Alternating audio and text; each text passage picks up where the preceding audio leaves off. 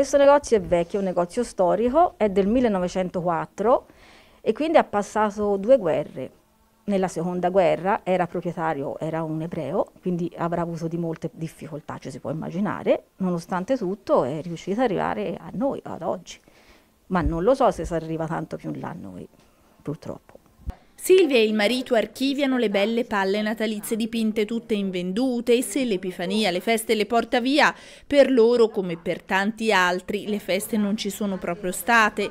Nella centralissima via del Proconsolo è un'ecatombe, sono circondati da ogni parte da attività che hanno chiuso proprio per la crisi Covid e si sentono dei sopravvissuti. Molti hanno chiuso e quindi molte cose si vanno a perdere perché non le fanno più, ma non c'è nemmeno nessuno che ha iniziato o che ha imparato a farle.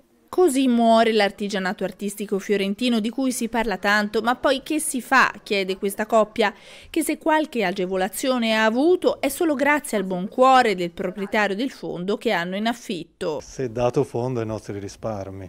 La nostra opinione è che c'è poca attenzione nei confronti dell'artigianato artistico ci dovrebbe essere, a mio parere, una differenza tra l'artigianato di importazione e l'artigianato nostro.